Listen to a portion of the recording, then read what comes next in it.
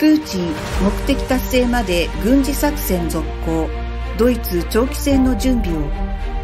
専門家ロシアの軍事力は想像よりも脆弱戦争終結の2つの可能性ウクライナに取り残された中国人留学生退避のタイミングを逃した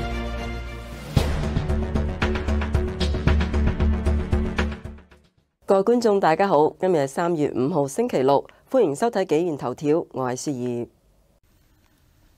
ロシアのプーチン大統領は3月3日、フランスのエマニュエル・マクロン大統領と電話で会談し、作戦の目的が達成されるまで、ウクライナへの攻撃を継続することを明言しました。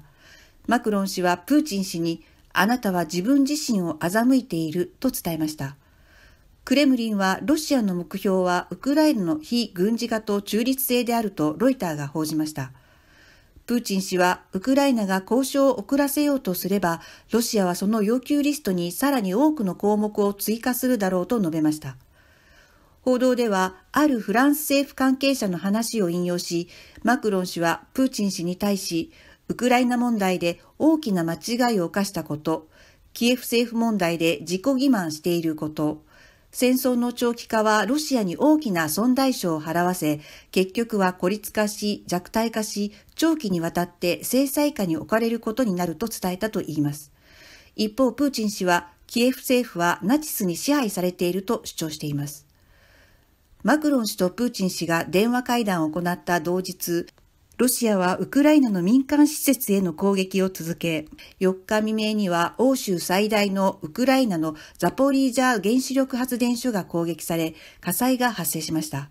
その後、火災は鎮火し、ザポリージャの地方軍事行政の責任者、オルクサンドル・スターク氏は Facebook の投稿で、原発の安全性は保障されていると所長は言っていると述べました。ロシアのウクライナ侵攻が2週目に入り、ドイツのシュタインマイヤー大統領は、ウクライナでの長期戦を覚悟していると述べました。同日、シュタインマイヤー氏は、リトアニアを訪れ、バルト海に展開するドイツ NATO 軍を視察する際に、戦争がすぐに終わる兆しはないと示しました。またメディアに対し、この戦争は国際法に違反している。歴史の流れの中で今日ウクライナで起きていることが正しいと思う者はいないだろうとし、親は子を失い、子は親を失い、人々は全てを失っていると述べました。ウクライナのゼレンスキー大統領はプーチン氏に両者の1対1の会談を行うよう呼びかけました。ゼレンスキー氏は EU がウクライナの飛行禁止区域の要請を拒否することに警告を発していました。Після України, якщо нас нас не станеться, не дай Боже, далі буде Латвія. Запам'ятайте нашу зустріч: Латвія, Литва, Естонія, Молдова. Далі буде Грузія, далі буде Польща. І так будуть вони йти до Берлінської стіни. Повірте мені. 次のニュースです。 ロシアが全面的にウクライナを侵攻した後、当初のロシア・ウクライナ戦争から欧州とロシアの代理戦争へと変貌を遂げ、戦争が長期的な趨勢にあります。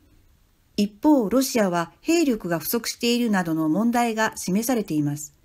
ロイターは3月3日、ロシア当局が国内で戒厳令や青年男性の出国禁止を計画していると報じました。その後、クレムリンは否定していましたが、一部のロシア国民は危険を冒して国内に留まりたくない人もいます。ある29歳のロシア人青年はロイターに対し、明日軍事動員があり、国外に出られなくなるのではと心配している。1年前にモスクワに引っ越してきた時は、今のような地獄になるとは夢にも思わなかったと語りました。38歳の男性は、私は参戦したくない。いろいろな噂を聞いているが、クレムリンの否定を信じない。週末の中東行きの航空券を何とか手に入れたが高価なものだったと述べました。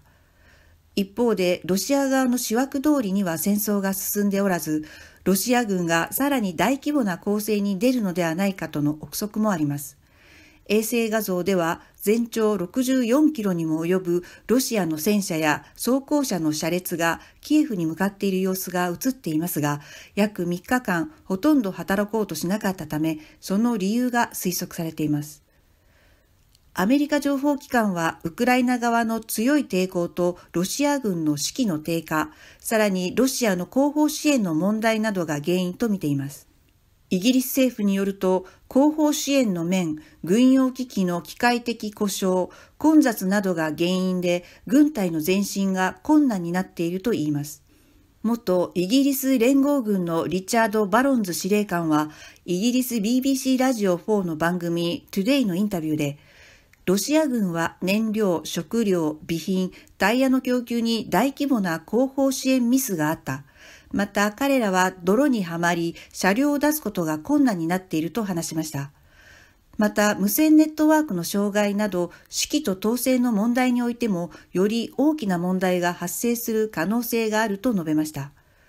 ロシアとウクライナの戦争が2週目に入り、ロシアの国力と軍事力は一般的な認識よりもはるかに小さいことが明らかになってきました。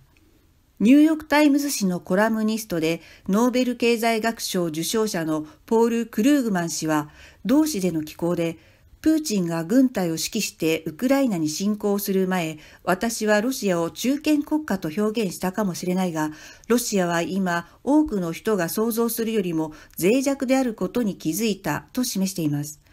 また侵攻された当初、ウクライナは深刻な後方支援問題に見舞われ、特に燃料の補給において問題が次から次に現れ、現代の精鋭部隊のようには全く見えなかったと指摘しました。クルーグマン氏はロシアを中堅国家と呼ぶのは過大評価ではないかと考えています。同氏は、経済力が軽量級な国がどうして世界重量級の軍隊を支えることができるのかと疑問を呈し、ロシア軍内部の腐敗の程度は人々が思っているより深刻だろうと話します。プーチン氏はもともと即戦即決の予定でしたが、ロシアとウクライナの戦争は長期化しており、外部は戦争の方向性を予測し始めています。アメリカ在住の中国社会経済学者のカー・セーレン氏は、ロシア・ウクライナ戦争をウクライナの知らぬ間に始まった戦争と評価しました。歌詞は戦争を終わらせるためには2つの可能性があると考えています。1つ目は、ロシアと交渉して中立の原則を確立し戦争を終わらせること。2つ目は、ウクライナをプーチンの政治的キャリアを葬る戦場にすることだと言います。その結果 EU と NATO はウクライナを加盟国として受け入れ、それ以降ロシアに対抗する欧州の盾となるため、ウクライナは大きな犠牲を払うことになると歌詞は見ています。選択をするのはゼレンスキー政権です。平時であれば国民投票も可能ですが、戦時中の今はゼレンスキー氏の判断に委ねられています。最後のニュースです。ロシアとウクライナの戦争が激化する中、中国共産党中共は速やかに退避を宣告しなかったため、多くの中国人留学生がウクライナに取り残されています。危険な目に直面している留学生たちは、自分を救う最適なタイミングを逃したと憤慨しています。イギリス BBC 中国語サイトは3月3日、20代の中国人留学生陳玉さんがウクライナ北東部の危険な地域であるスムイで今も足止めを食らっていると報じ、また最近は下の階に降りてパンを買うこと以外は年下の留学生を慰めることに多くの時間を費やしているといいます。陳玉さんはほぼ毎日戦車の爆撃や機関銃の射撃音が聞こえ、人々はメンタルが崩壊しそうで外部からの情報を受け入れようとしないと話します。彼女によると、スムイ地域の3つの大学の中国人留学生約200人がまだ取り残されており、パニックが広がっているといいます。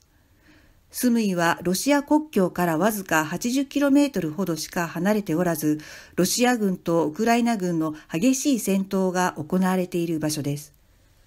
スムイと周辺都市を結ぶ主要な交通網は遮断され、物資は現金でしか買えなくなっています。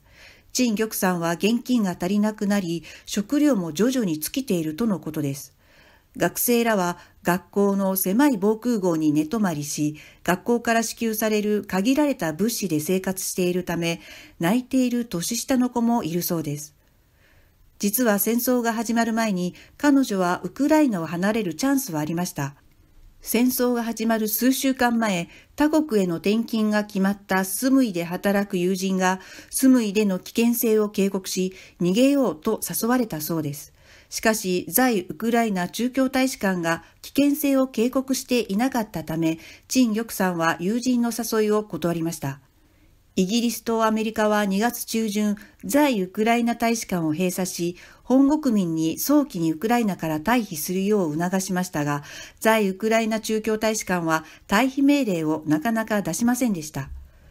開戦翌日の2月25日、中京大使館は出国を希望する中国人のためにチャーター便を手配すると発表しました。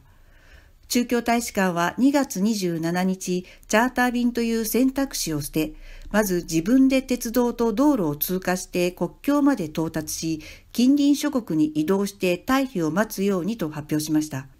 陳玉さんは3月上旬に再び中京大使館に連絡したところ、自力で退避するように言われたといいます。しかし事態がここまで進展した今では、生徒たちは自分たちだけで退避することはできません。BBC によると彼女はかなり憤慨しており、私たちは自分たちを救う最適なタイミングを逃した。一日一日と待つしかないと語ったといいます。ウクライナメディアの観察者網は3月3日、ウクライナ第2の都市ハリコフの文化学院にロシア重装備部隊が突入し、学生寮の建物がミサイルで爆撃され、ロシア軍の発砲により多数の学生が死傷したと報じました。報道によると少なくとも13人の学生が死亡し、4人の中国人学生と1人のインド人学生を含む多くの学生が重傷を負ったとのことです。犠牲になった2人の中国人留学生の名前は、金天功さんと李チーさんです。このニュースに対して中共当局は何の反応もなく、中国国内でも報道されていません。中共政府の商務部が以前発表した情報によると、ウクライナには約6000人の中国人がいるとのことです。中共外交部の王文賓報道官は3日の定例記者会見で、ウクライナにいる3000人以上の中国人が近隣諸国に無事移送されたと述べましたが、言い換えれば中国人の半数近くがまだ戦場にいるということです。戦況が日増しに悪化する中、ウクライナに取り残された多くの中国人が SNS で見捨てられたことやパニック状態であることを訴え、またある人は遺書を書き始めているといいます。今日嘅紀元頭條就到呢度，多謝收睇，守護真相永不放棄。我係雪兒，下個禮拜見啦。